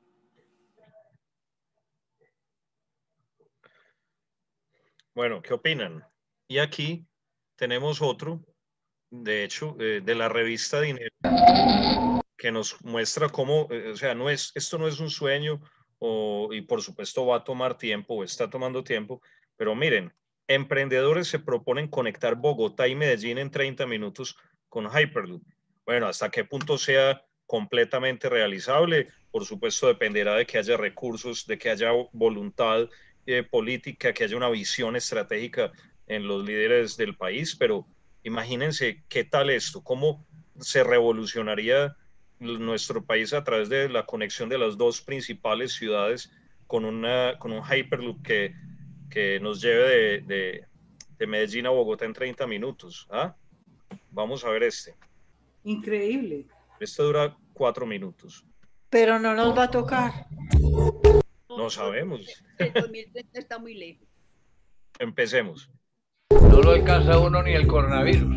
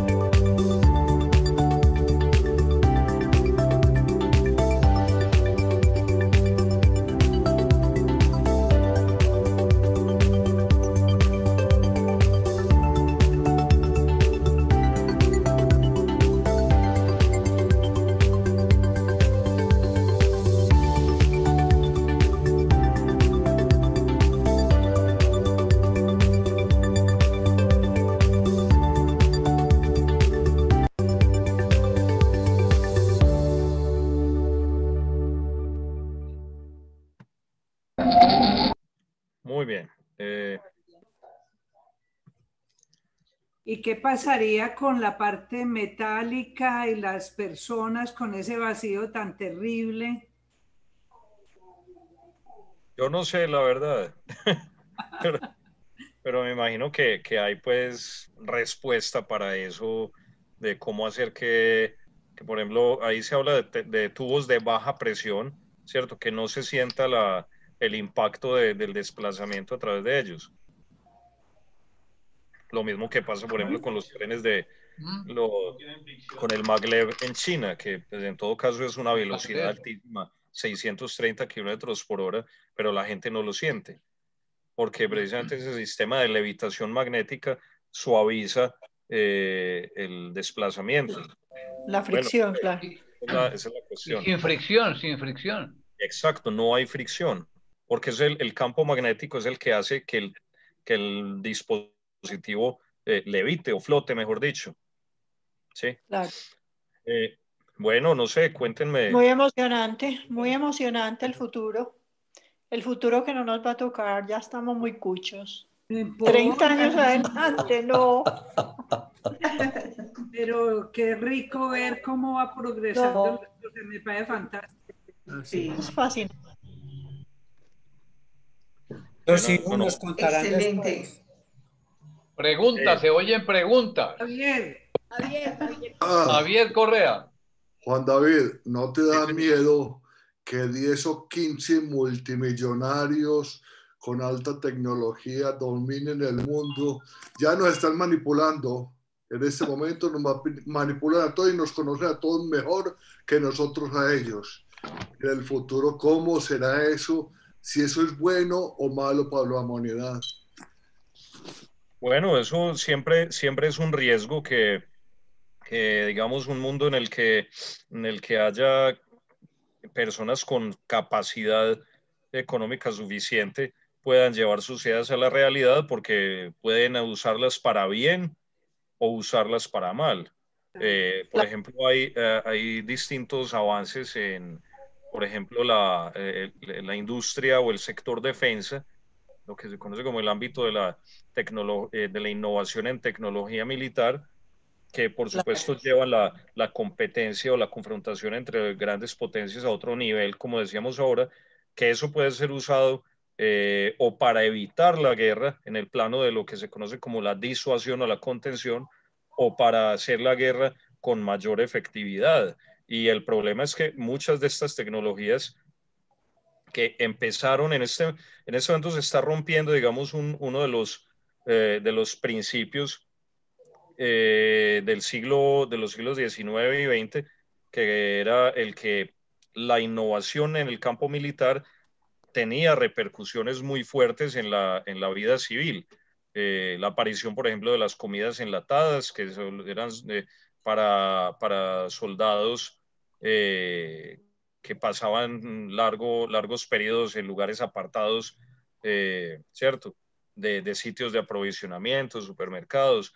Eh, los tenis que nos ponemos hoy, las suelas de caucho también fueron una innovación de la tecnología militar. Internet fue una innovación de la tecnología militar en la, en la, en la era de la información a mediados de los 50 y todo eso empezó teniendo aplicación militar y tuvo hubo luego aplicación civil. Lo que está ocurriendo ahora es que el proceso está, eh, se está dando en el sentido contrario, al, paralelamente a que también hay una cantidad de avances militares con aplicación civil. Y es que están dándose eh, incursiones en tecnología con aplicación civil que pueden terminar teniendo una fuerte repercusión en el ámbito militar, como por ejemplo el desarrollo de Hyperloop, que puede facilitar eh, o, o, construir eh, propiciar corredores de movilidad eh, de, de, de, tropas, ¿cierto? Que hagan más fácil el desplazamiento de tropas para intervenciones militares en otras partes, ¿sí?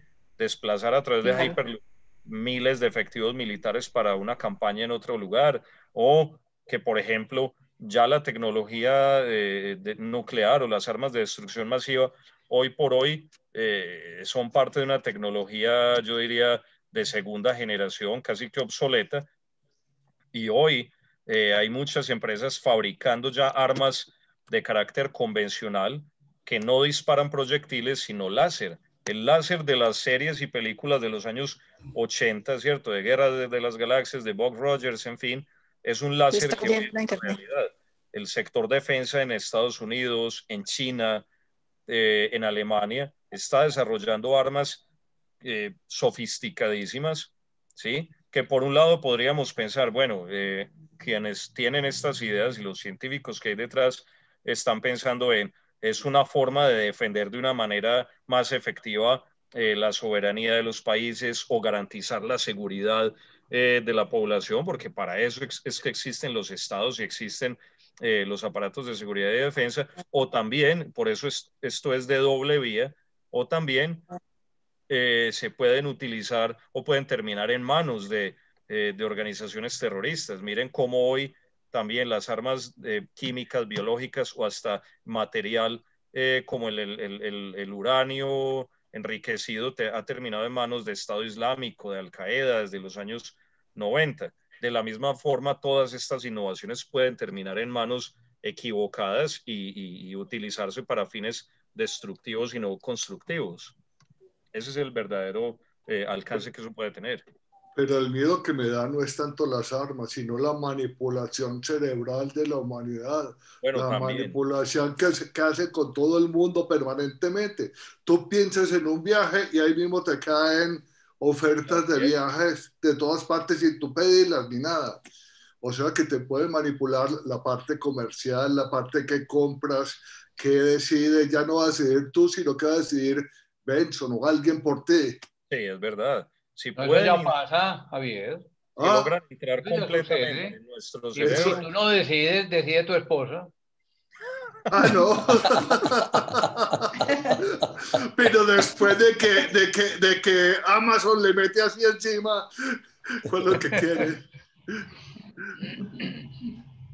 En fin, todo tiene riesgos, desde luego. Sí, claro, claro. Juan David. Eso es inatajable. Yo, sí, Juan David, eh, yo te...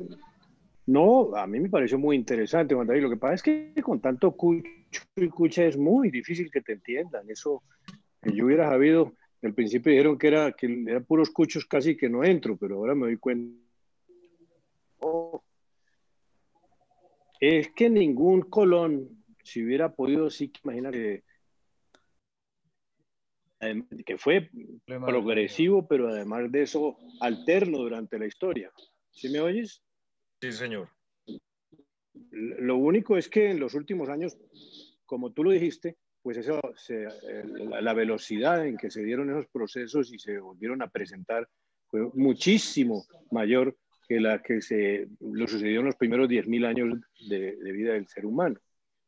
Pero si uno se pone a pensar que 240 eh, años hace, se murieron los, los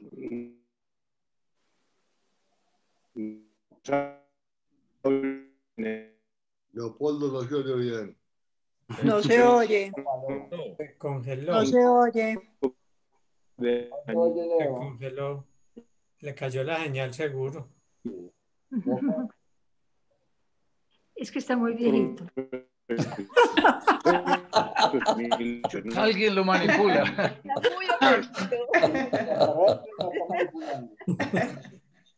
Necesita otra antena. No, es que. ahora sí. Ahora Se fue en el túnel. No, es que. Eh, ¿Ahora sí me oye? Sí, sí, sí, No, le decía yo, bueno, hay que, caramba, con todos estos cuchitos es bien difícil hablar de estos temas. Pero los últimos 10.000 años han sido absolutamente impresionantes si tenemos en cuenta que eh, los eh, dinosaurios estuvieron 5 millones de años y no pasó nada. Pero los próximos, no 10.000, sino los próximos 200 años van a ser absolutamente impresionantes de pensar siquiera.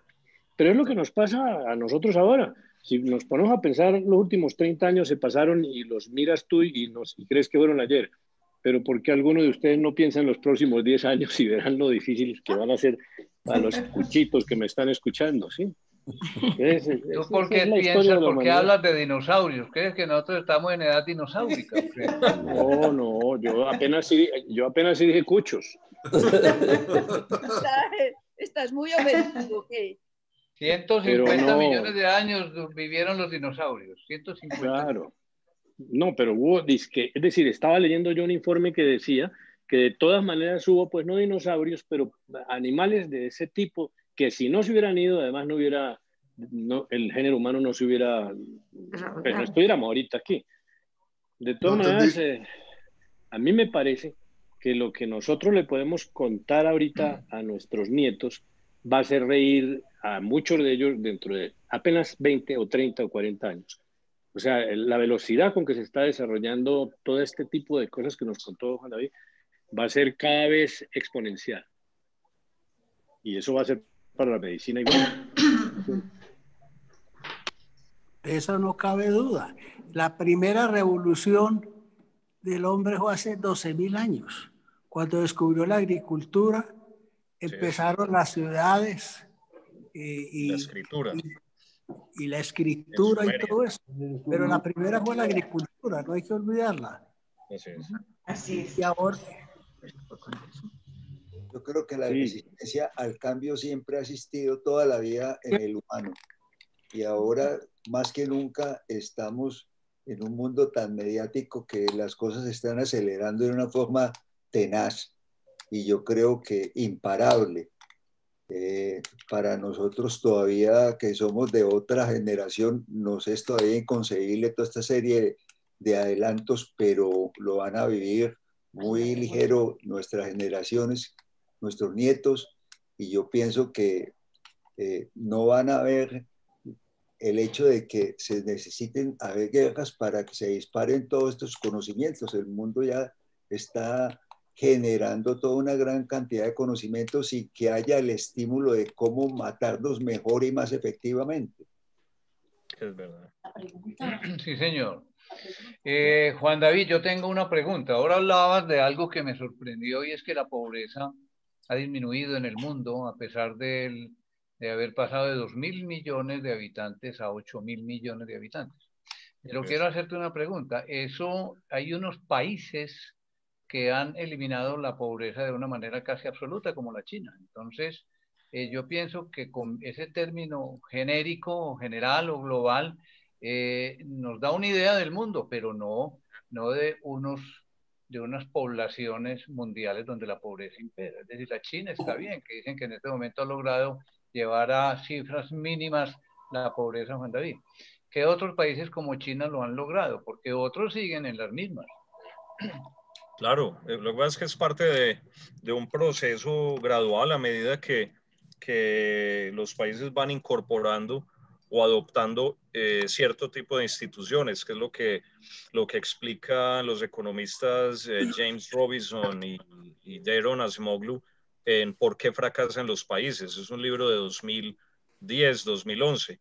Y él dice, ellos dicen o sostienen que las instituciones que permiten crear riqueza o propiciar la salida de la pobreza en los países se llaman instituciones o son las instituciones económicas inclusivas, las favorables a, por ejemplo, la iniciativa privada, la inversión, la propiedad, eh, una, eh, digamos, eh, todo eso impulsado por esas llamadas Six Killer Apps, aquellas que permiten que, que haya, digamos, un proceso de retroalimentación en la economía en donde el Estado no tenga tanto control, que sí, digamos, ejerza un papel regulador o de supervisor, o de supervisor, pero que en vez de ser un obstáculo al progreso de los individuos, se convierta en, en, en, un, en un impulsor. Y las otras instituciones son las llamadas instituciones económicas extractivas, aquellas en que el Estado se convierte en un explotador de los recursos. Eh, y por ejemplo, sería el caso de un país como Venezuela. Y entonces observamos eh, un fenómeno, mientras que Venezuela en los años 50 eh, y 60 asistió a un desarrollo espectacular en todos los órdenes y se convirtió, era uno de los países más ricos del mundo. Eh, Corea del Sur, que acababa de salir de la guerra del 50 al 53, era un país mucho más pobre, más pobre que Colombia, más pobre que Venezuela, era eh, casi que un páramo, no tenía casi ningún recurso, digamos, natural que le, que le, que le privilegiara lo que se conoce en la economía como, como las ventajas comparativas. ¿Y qué pasa eh, medio siglo después? Incluso menos de medio siglo después, ¿qué empezó a ocurrir? Que Venezuela, eh, que cada uno empezó a recorrer un, un camino diametralmente opuesto al del otro. Corea del, Sur se convirtió en, eh, en, una economía próspera gracias a esas llamadas instituciones económicas inclusivas y se convirtió en una de las economías más importantes, en una potencia tecnológica. Hoy eh, eh, uno de los, pues tiene algunas de las marcas de automóviles más importantes, de telefonía móvil, del sector comunicaciones, en fin, se convierte, por ejemplo, el llamado K-Pop que es como la industria del pop coreano, es de, lo más, de los más influyentes en la sociedad occidental y ha logrado elevar el nivel de vida de su población y el nivel educativo a unos niveles tremendos, eh, perdón, a unas proporciones tremendas, en cuestión de 55 a 60 años, que realmente eso es poco tiempo. En, eh, en ese mismo tiempo, Venezuela se convirtió hasta hoy ya en uno de los países más empobrecidos del planeta, a pesar de tener las reservas mundiales de petróleo más grandes, 300 mil millones de barriles de petróleo, que pues no parece que hubieran servido de mucho. ¿Por qué? Porque no, no desarrollaron o no impulsaron esas instituciones económicas inclusivas, fortalecer el tejido productivo, permitir eh, o, propiciar la iniciativa privada. Al contrario, se embarcaron en una revolución en la revolución bolivariana, mm, tratando de convertir a, Venezuela en otra Cuba o en otra Unión Soviética y pues el resultado está ahí a la vista. Esa es la razón por la que unos países hoy han salido de la pobreza y otros o no lo logran o al contrario colapsaron. En el continente africano hay muchos ejemplos.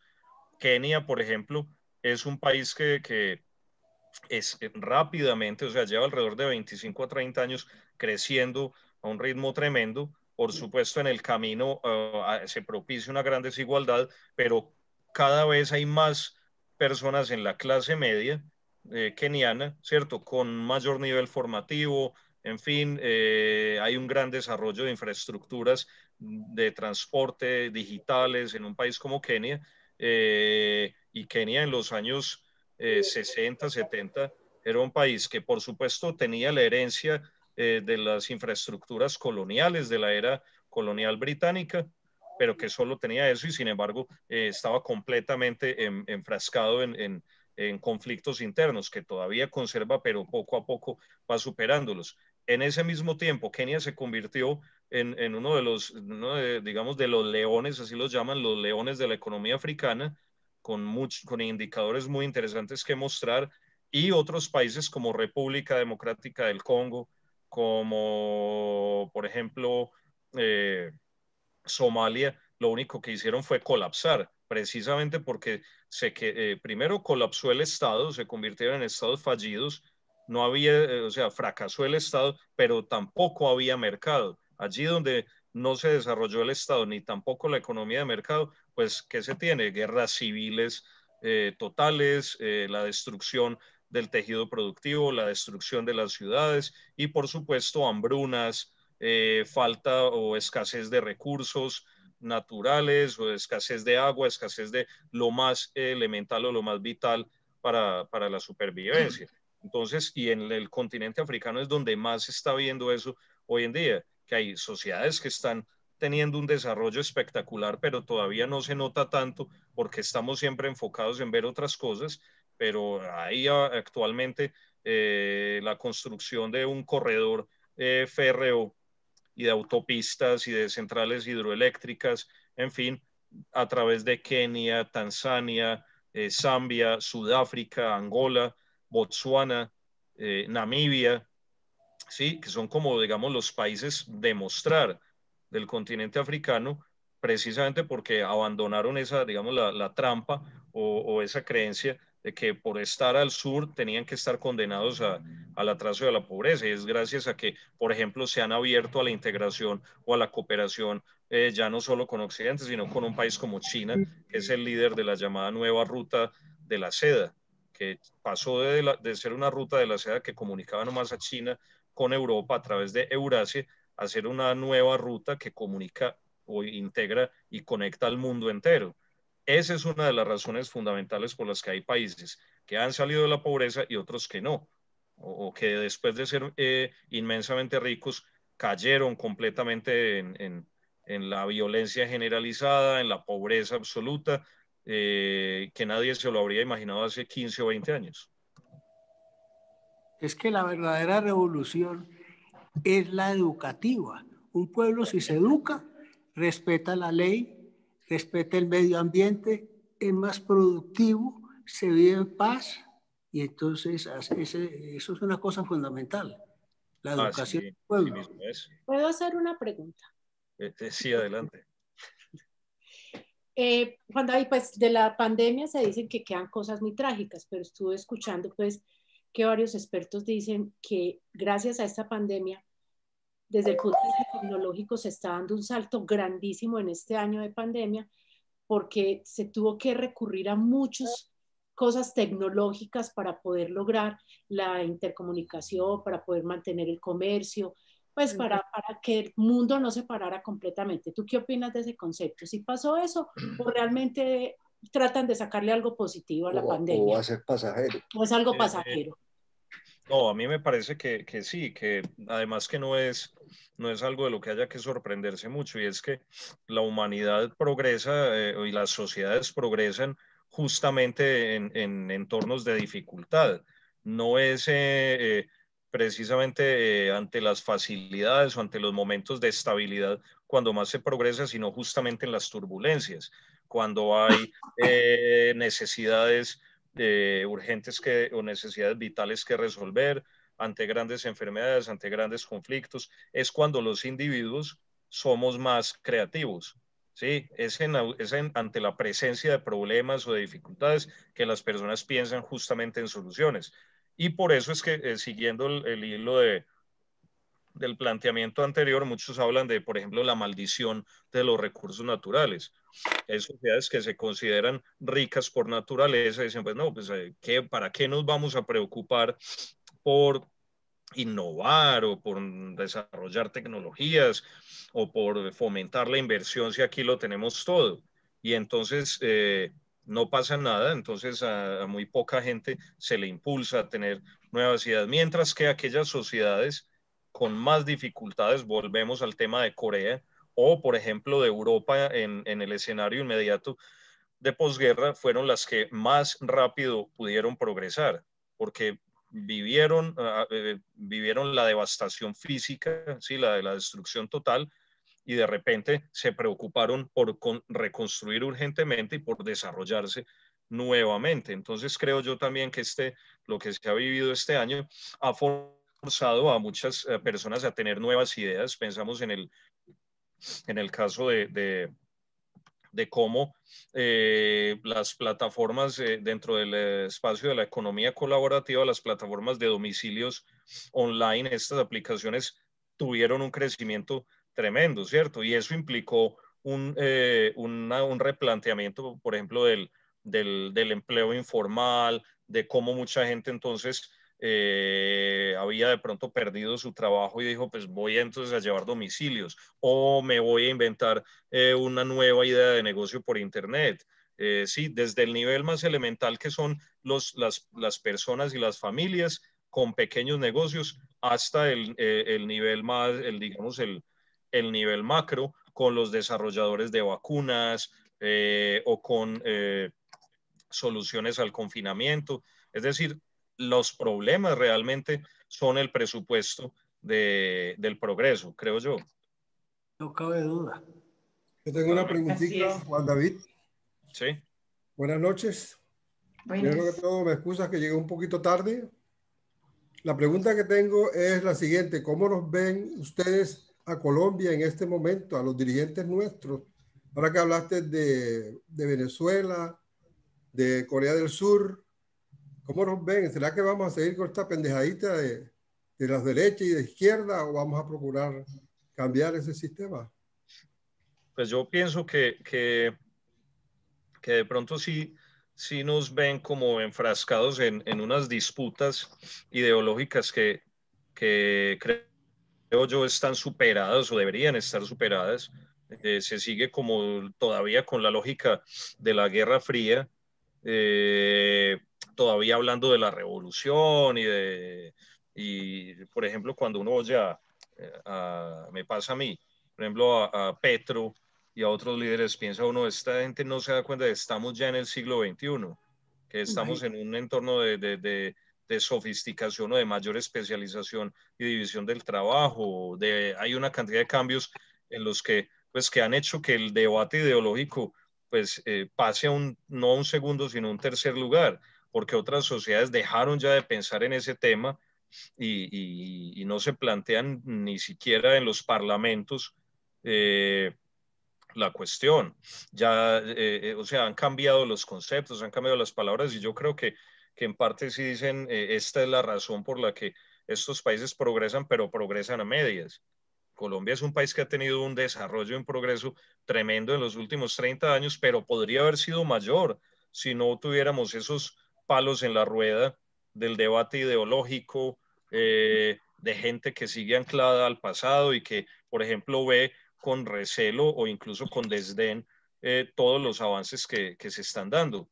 Dice, no, pero es que nosotros primero tenemos que resolver los grandes problemas sociales. No, parte de resolver los problemas sociales que tenemos pasa por incorporarnos a todo ese ritmo eh, vertiginoso de, la cuarta revolución industrial, de, o sea, no podemos usar, utilizar como excusa para no participar de los grandes cambios en, en, el mundo actual el que tenemos problemas que resolver, porque eso no, lo es, no se lo están planteando en la India o en China o en Vietnam o en Indonesia, y ellos tienen una cantidad de problemas internos. Indonesia es un país de 260 millones de habitantes, o no sé si más, con conflictos internos, con inestabilidad política, con pobreza, pero es uno de los líderes del sudeste asiático. Dice, no, hasta que no tengamos el 100% de la población eh, viviendo eh, cómodo y feliz, no vamos a salir al ruedo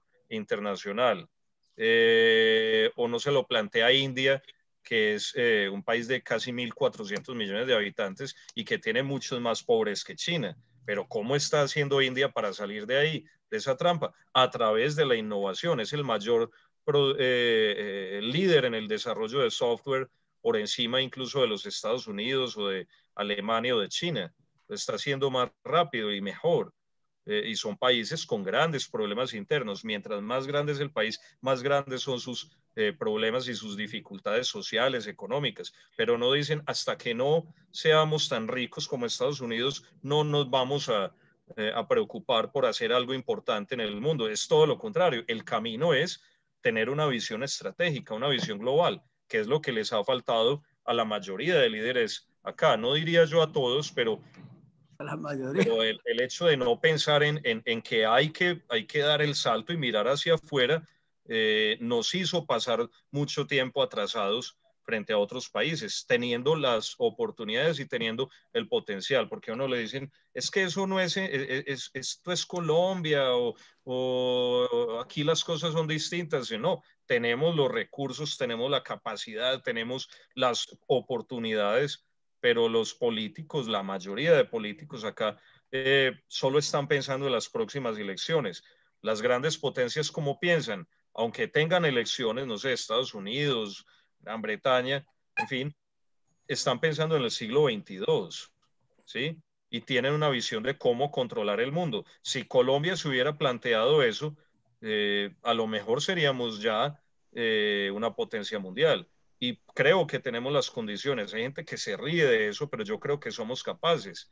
Pero es actualizar la visión del mundo. Es, el, es, la, es la primera condición y perder los complejos, dejar de pensar eh, en términos de somos atrasados y pobres y brutos y violentos y no, eso no importa, es que todas las sociedades tienen problemas iguales o peores que los nuestros.